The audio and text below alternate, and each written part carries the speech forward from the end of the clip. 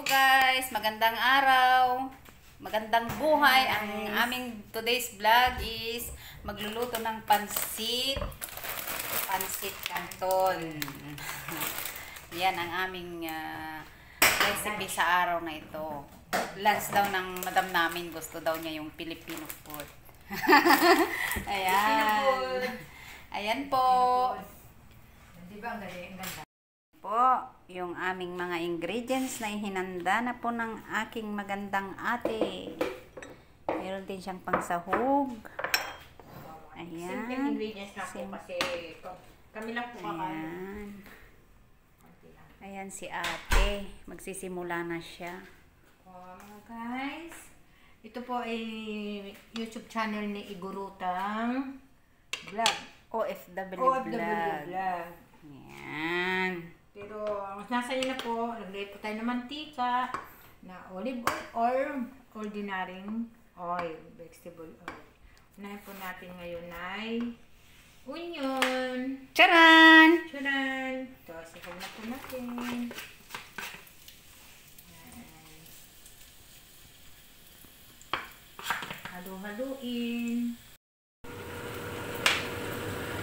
Ilagay na ang Garlic. garlic. Ano yung 3 gloves lang? Halu-haluin hanggang mag-brown, golden brown. Ayan, luto ng aking magandang ate. Ay po. Ano po naman, hindi mo po kami mga chip ko. Mga ano lang po. Pagkain simple lang.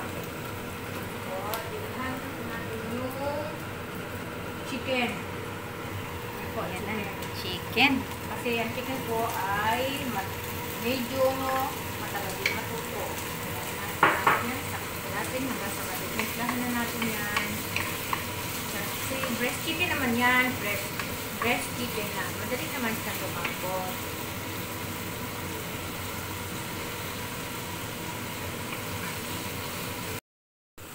Ayan. Halo-halo. Kasi po, Halo-halo. yung chicken, nagtutubig po yan. Kaya ayan na po. Yan. Bigyan po natin ng not cube. At ano po klase? Virgin or what? Magisarap. Masarap pa yung magisarap eh. eh wala kami. Ito.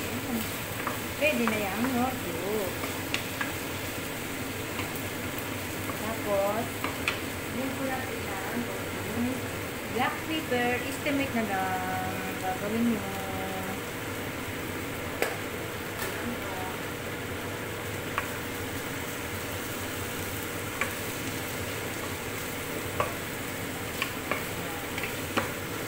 Okay, so sanay po natin dito, pag medyo malambot-lambot na yung chicken, yung vegetable, like carrot, bell pepper, kung ano pong vegetable ang lagay nyo, no problem.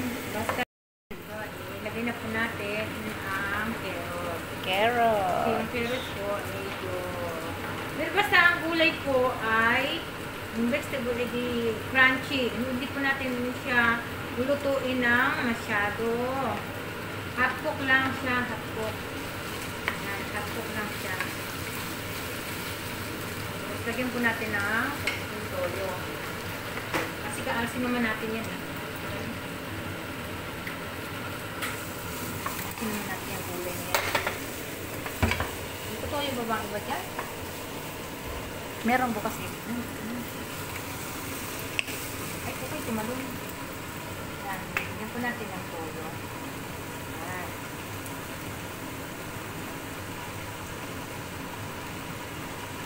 Po natin yan. Tapos, hindi po natin tatakpan. Hayaan po natin siyang kukulo na kukulo na konti. Tapos, saka po natin green bell pepper. Kung meron po kayong red, okay. Yan po. Hindi po natin nalagpan yan. Yan po natin yan. Tapos, kukunin na po natin yan. Halo sa haba. Yan ulit. Kukunin na ang halo ito.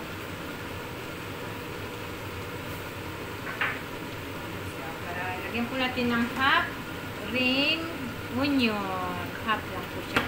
Para decoration. Matira tayong decoration. Yan. Yan na po ang simpleng ricado ng pancit canton. Yan na ulit yan.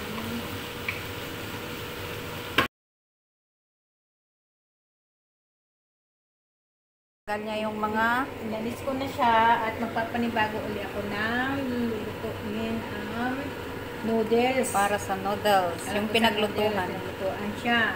Yan po. Mamaya na po natin ihalo yan pag inama natin noodles.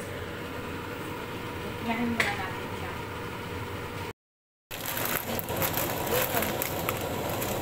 So guys, ilalagay ko na yung plastic.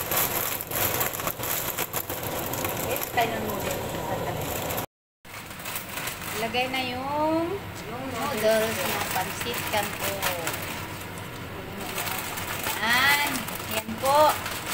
Ah, Ang kabuuan. Kung naman natin ilan, ah, kasi madami po siya eh. Depende lang po sa yung kakain. Gusto niyo lang po. Kalahati lang. Kalahati. Yan siya. Yan lang.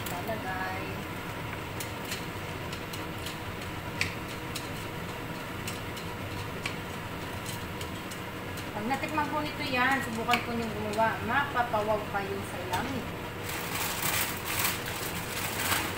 Ito pa natin. Ito pa natin kasi. Kahit naman yung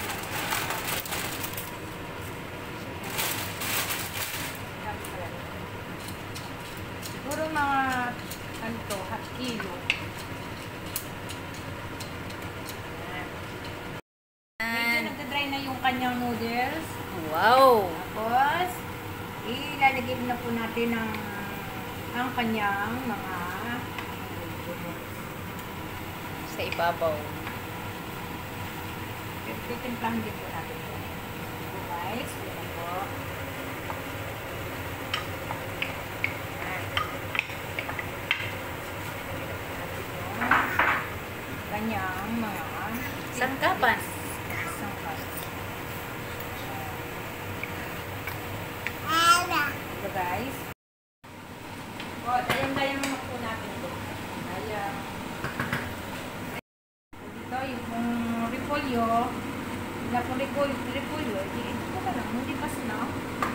Wala